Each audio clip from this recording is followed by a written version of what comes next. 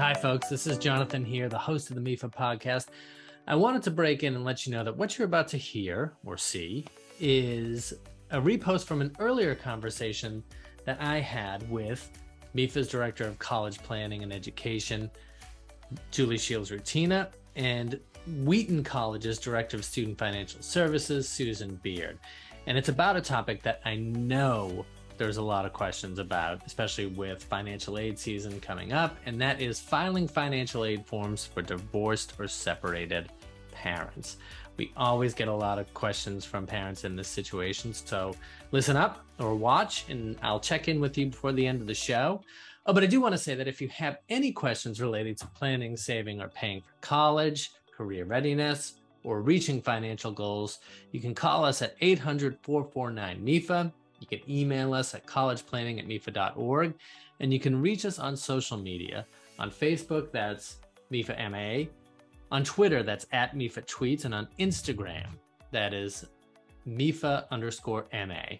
Now, let's go to my conversation with Julie Shields Rutyna and Susan Beard on financial aid for divorced or separated parents.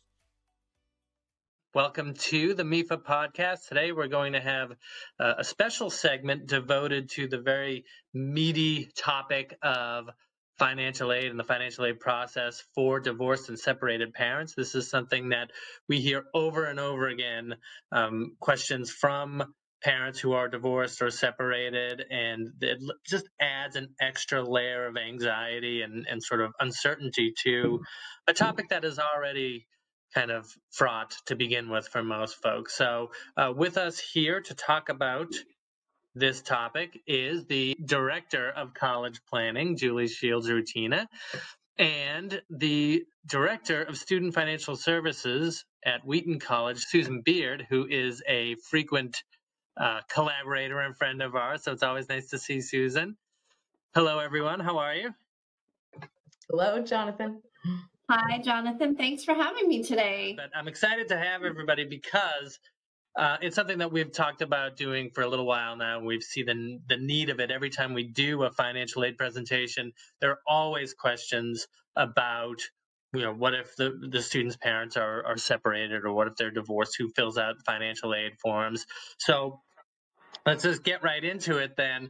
If there is something that you want divorced separated parents to understand even before we get into forms or anything like that um, what would it be about this process? Well uh, jonathan i'll just i'll mention two things that i say to to people all the time um, is that you know people are anxious about the financial aid process anyway and then when people are divorced they really think this is going to be terrible. But i just like to say some things are are the same no matter what. And one is to it's really going to be helpful if you learn and educate yourself about the financial aid process as early as possible. I guess in, in the case of divorced or separated parents, uh, if both parties do that, and uh, hopefully MEFA can help with that, and this might help with that. But I think that's really key. And that's true for everyone, whether you're married or you're divorced or separated. And then the second piece is that communication is super important. I know that can be more difficult um, in a, a family with divorced or separated parents, but the key is even even married parents sometimes think differently about um, what education higher education should look like for their student. You know maybe one parent went to a public institution and thinks that's exactly what i want my son or daughter to do and the other parent wants a different experience. And so I think all of those things need to be talked about. And again, as early as possible, uh, no matter what the status, the marital status of, of the family is.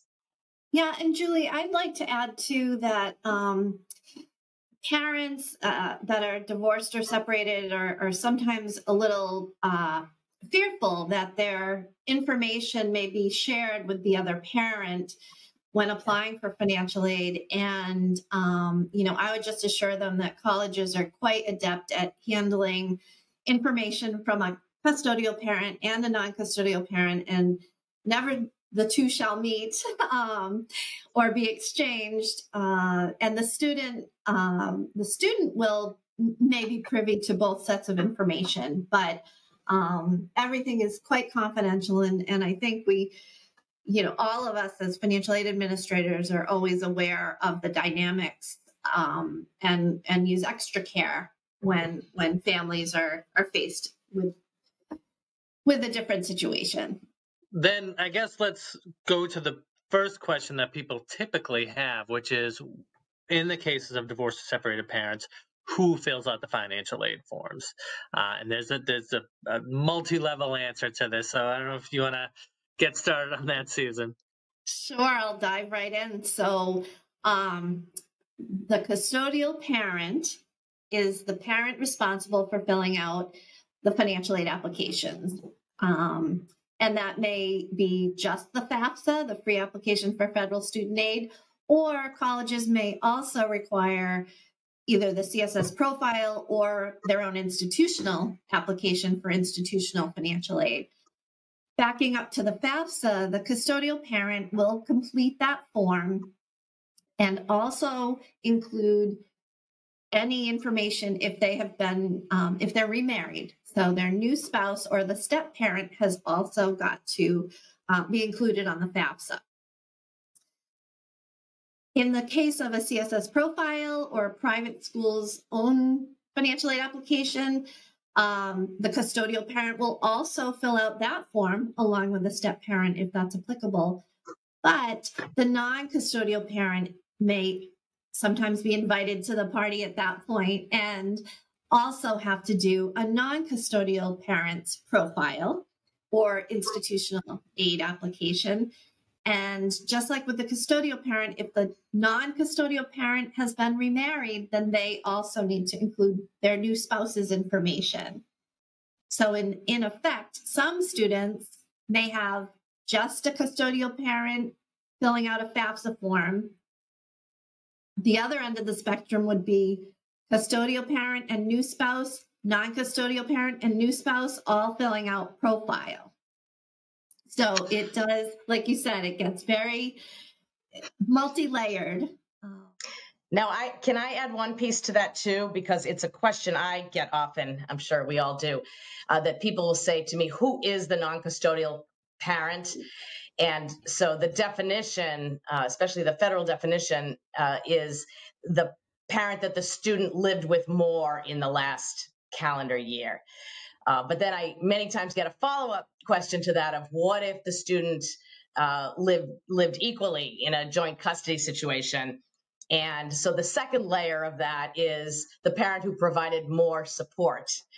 If that's also equal, then they really just need to pick a parent who will be the custodial parent for the college process. Is that what you would say, Susan?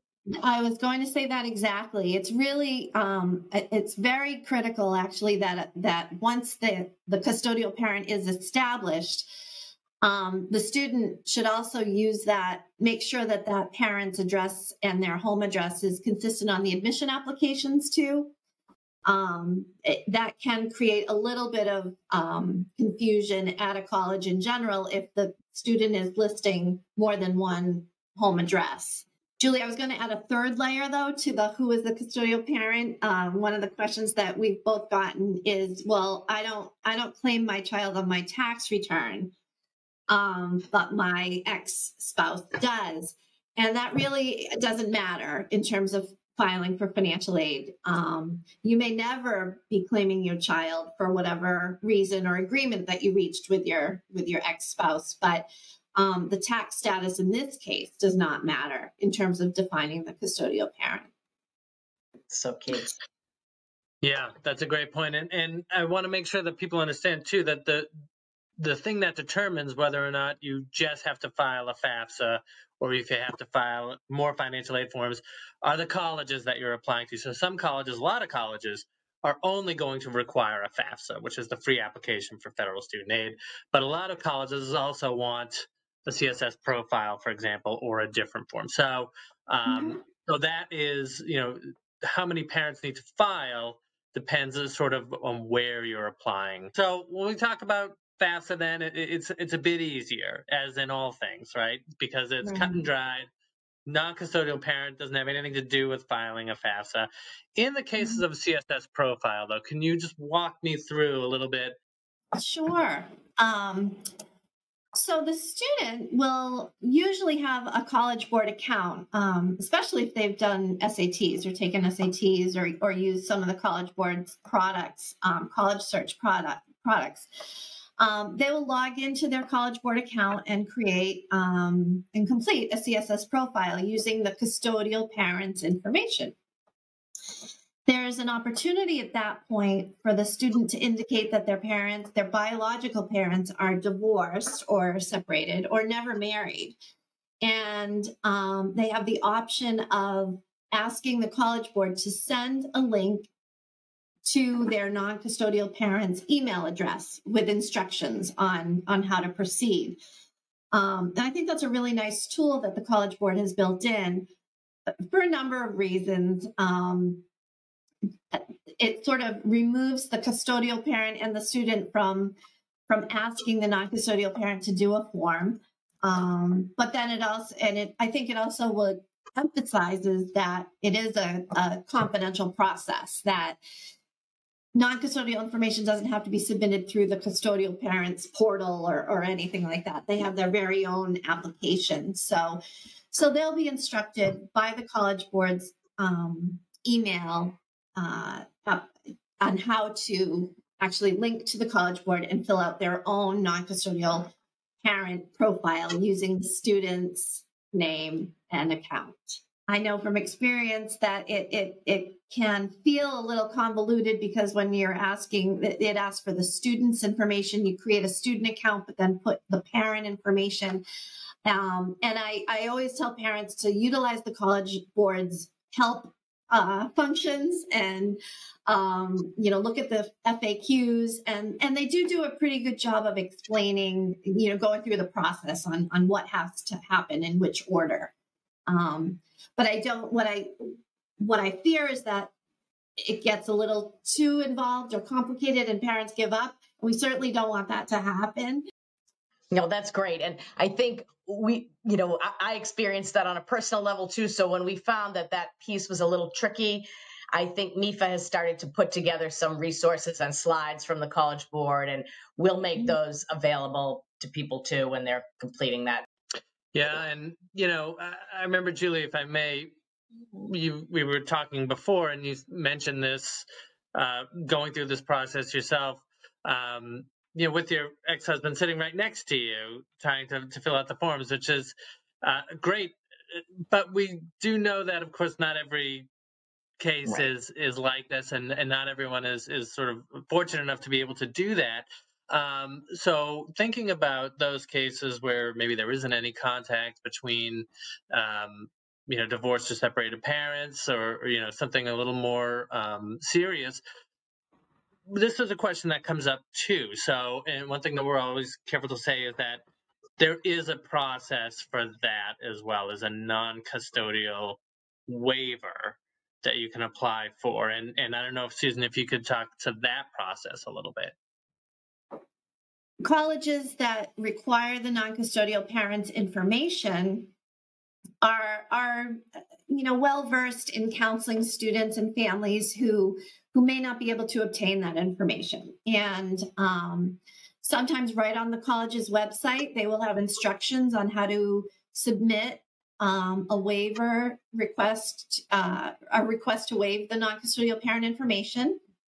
A lot of times um, the colleges will ask that a letter come from the student with um, documentation or verification from a third party to attest to um, the fact that that non-custodial parent is not available or should not be available um, for you know a plethora of reasons. Um, the College Board itself actually also has a waiver that it publishes so that students and um, or the custodial families can um, see that and submit um, a request to waive. Ultimately, it is up to the colleges to make that decision whether or not they will waive the form or the information um, from the non-custodial parent. But um, it is it, it it's absolutely something that families should investigate directly with the colleges that, to which they're applying. One of the very common situations that we get is um, a custodial family or parent or the, the student applicant will tell us that their non custodial parent is unwilling to complete the forms. It's not that they're unavailable, but they don't, they maybe don't agree with the college choice or they don't agree with financial aid in general or whatever reason that they're they just won't fill out that form um, and generally speaking, colleges will not take unwillingness as a reason to waive non custodial parent information.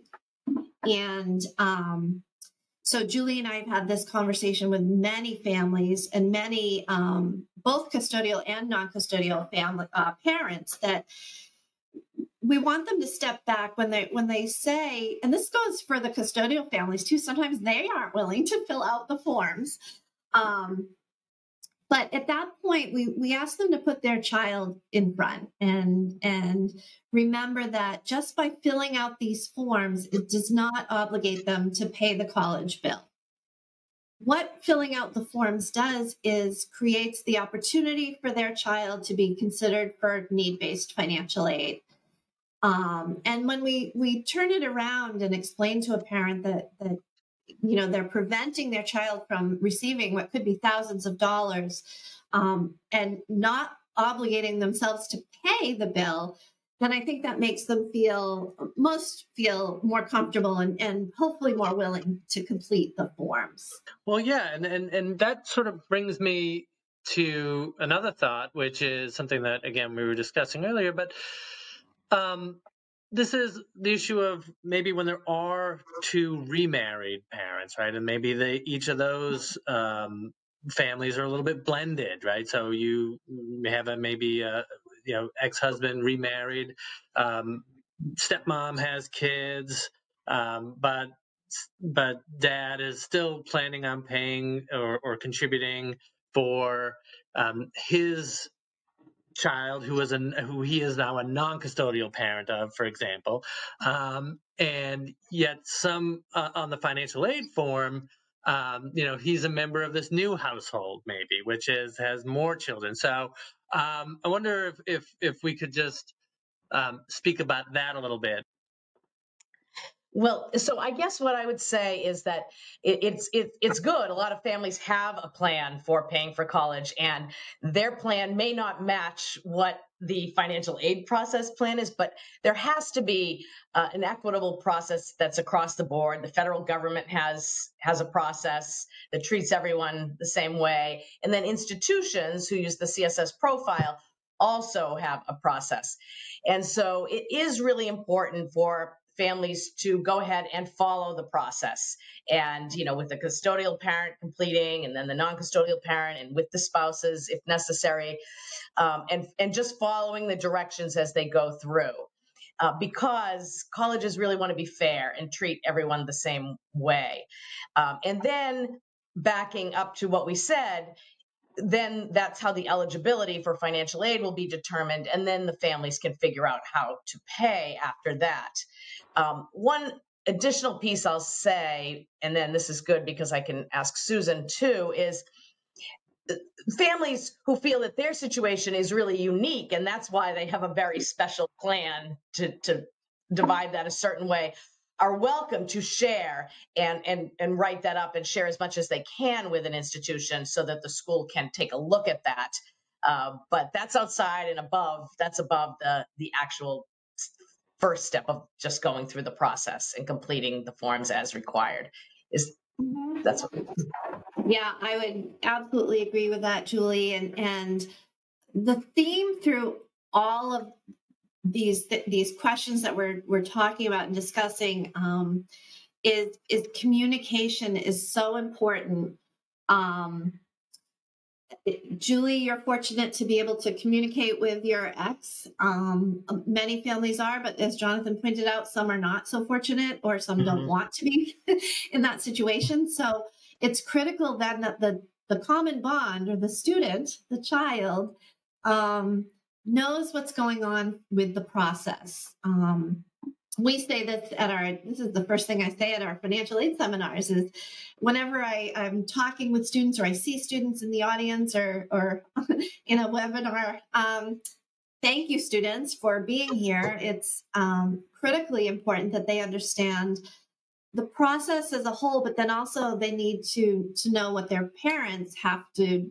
complete in order for them to to qualify for financial aid and um, I, I think it's sometimes the students the conduit between their parents, the, mm-hmm. the custodial and the non-custodial parent. Um,